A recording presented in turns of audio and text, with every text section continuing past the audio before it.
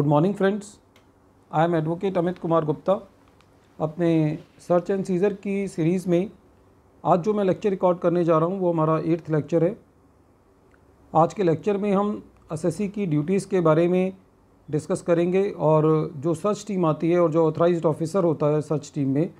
उसकी पावर्स के बारे में डिस्कस करेंगे। जहाँ तक कि एस की ड्यूटीज़ का सवाल है सर्च के दौरान तो ये एज्यूम किया जाता है कि एसएससी जो है वो सर्च टीम के साथ पूरा कॉपरेट करेगा। यदि हम डिपार्टमेंट के परसेप्शन से देखें तो डिपार्टमेंट एसएससी के कॉपरेशन का मतलब ये समझता है कि एसएससी ज़्यादा से ज़्यादा अपनी इनकम का सिलेंडर कर दे। हालाँकि ये बिल्कुल भी सही नहीं है, क्योंकि खाली वही इनकम पे डिपार्टमेंट टैक्स ले सकता है। जिस इनकम के रिस्पेक्ट में डिपार्टमेंट को सर्च के दौरान एविडेंस मिला हो कि ये एसएससी की अनडिसक्लोज इनकम है। बहरहाल, जो एसएससी की ड्यूटीज़ हैं सर्च के दौरान, सबसे पहले एसएससी की ये जिम्मेवारी बनती है कि जो सर्च टीम एसएससी के यहाँ विज़िट किया है, वो उस टीम का पीसफुल अपनी प्रमाइसिस में एंट्रेंस दे, उनको आने दे और उनको आने के बाद एसएससी की ये ड्यूटी बनती है कि जहाँ जहाँ पे भी एसएससी के एसेट्स और वैल्यूएबल्स रखे हुए हैं, उन रिसेप्टेबल्स को रिकग्नाइज़ कराए, आइडेंटिफाई कराए। उसके बाद एसएससी की ये ड्यूटी बनती है कि जितने भी लॉकर्स, अलमीराज हैं, उनकी कीज़ जो है वो डिपार्टमेंट को प्रोवाइड कराए, ताकि जो ऑथराइज्ड ऑफिसर है, वो उसके अंदर जितने भी वैल्यूएबल्स हैं और जितने भी वहाँ पे असेट्स हैं, उनकी इन्वेंट्री जो है वो डिपार्टमेंट कर सके। इसके बाद फ्रेंड्स एसएससी की ये ड्यूटी बनती है कि जितने लोग भी एसएससी की फैमिली में हैं, उन सब फैमिली को ऑथराइज्ड ऑफिसर को रिकग्नाइज़ कराए कि उन फैमिली मेंबर से एसएससी का ये रिलेशन है और एसएससी का उनसे क्या रिलेशन है, ताकि जो है सर्च टीम को एक पूरी ओवरऑल ओवरऑल एक आइडिया हो जाए एसएससी की फैमिली के बारे में और जितने भी लोग वहाँ पे सर्च के दौरान होते हैं। इसके बाद एसएससी की ये ड्यूटी बनती है कि ड्यूरिंग द सर्च किसी भी आदमी को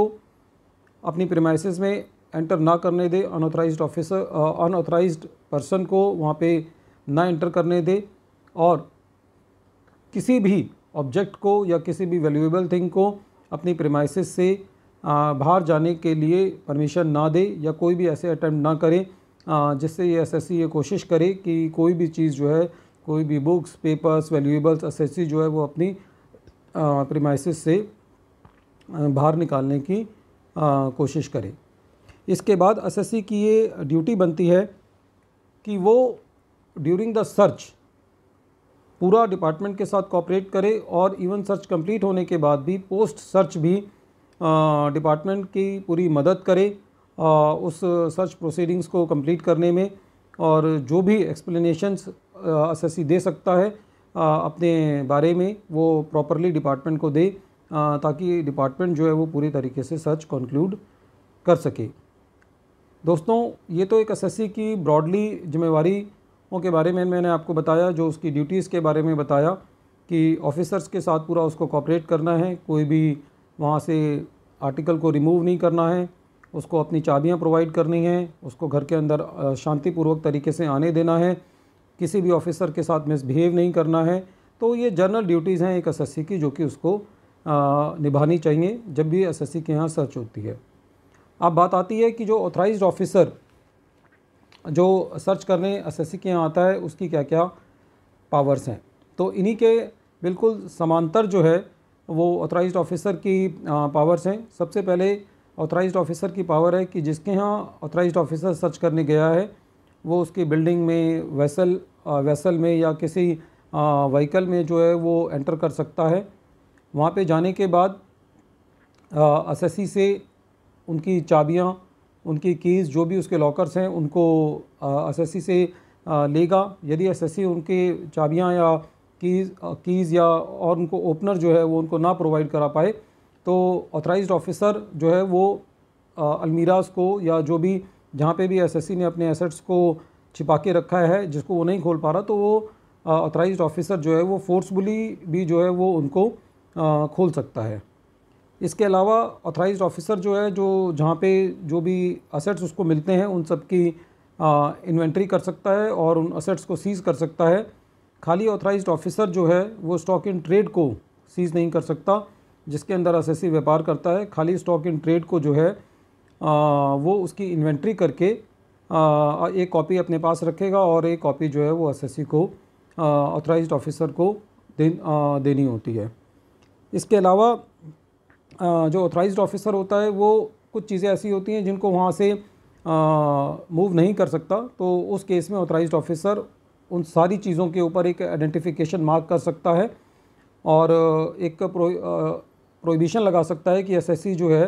वो इन चीज़ों को यहाँ से नहीं लाएगा या उनके साथ उनको डिस्प्लेस नहीं करेगा बिना ऑफिसर की परमिशन के बिना। लेकिन जो ऑथराइज्ड ऑफिसर है, वो स्टॉक इन ट्रेड के लिए कोई भी प्रोहिबिटरी ऑर्डर पास नहीं कर सकता। जो स्टॉक इन ट्रेड होता है, जिसके अंदर एसएससी जो है, वो व्यापार कर रहा होता है। इसके अलावा ऑथराइज्ड ऑफिसर की ये पावर होती है कि वो जो भी जिस एसएससी के यहाँ डिपार्टमेंट ने सर्च की है, उस एसएससी की पीसफुल तरीके से स्टेटमेंट ले बिना उसको दबाव में लाए और एसएससी की ये ज़िम्मेदारी बनती है कि ऑथराइज्ड ऑफिसर को बड़ी पीसफुली और अपनी ट्रू स्टेटमेंट जो है वो करवाए। लेकिन इसके अंदर एक मैं पॉइंट नोट करना आपको बताना चाहता हूँ। एक डायरेक्ट टैक्स फोर्स पे एक टास्क फोर्स बना था जिसको विजय केलकर साहब ने हेड किया था। उसके पैरा 3.27 में ये उन्होंने रिकमेंडेशन दिया था कि जितनी भी स्टेटमेंट्स सर्च के दौरान होती हैं डिपार्टमेंट को उसको वीडियो रिकॉर्ड करना चाहिए। लेकिन आ, ये रिकमेंडेशन जो है वो अभी तक प्रैक्टिकल लाइफ में नहीं लाई गई है जिसकी वजह से स्टेटमेंट की ऑथेंटिसिटी पर काफ़ी सवाल उठते हैं और बाद में एसएससी जो है वो सच के बाद जो है वो उन स्टेटमेंट्स को रिट्रैक्ट भी करता है ये